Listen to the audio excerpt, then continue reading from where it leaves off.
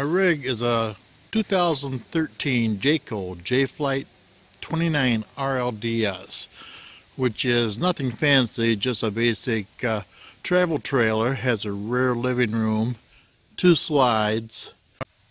Total length, including a tongue, is 33 foot. Uh, it's 11 and a half foot tall, and the gross weight on the rig is 9,500 pounds. So it tows quite well behind my Silverado 1500.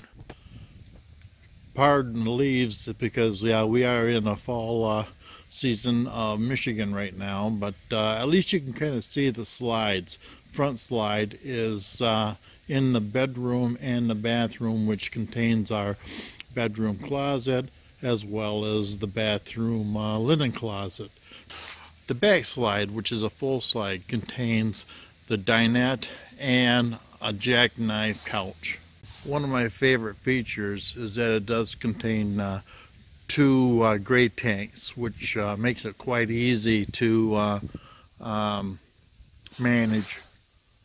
My tow vehicle is a 2014 Chevy Silverado 1500, which is a half-ton has the full towing package on it minus the mirrors which I picked up for uh, as an aftermarket feature.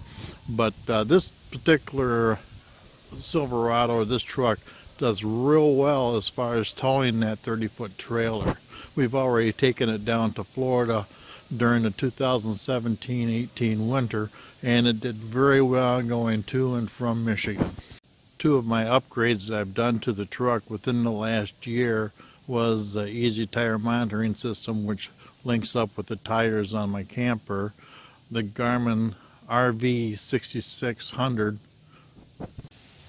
of course one of my most recent upgrades I've done for my camping experience is the Champion 3100 watt inverter with the remote start all these options or all of these upgrades that I've done will be featured in future videos. One of the most important members of our little team between my wife and I is Chester, our two-year-old King Charles Cavalier. This little mutt gives us an awful lot of pleasure and he makes it a lot of fun traveling. Even though he spends a lot of the time on my wife's lap, so she has to bear most of the discomfort of the trips all you have to do to say to Chester, we're going camping or we're going bye-bye, and he is all set and he's ready to go. In fact, he's wondering how, what are we going to be doing next?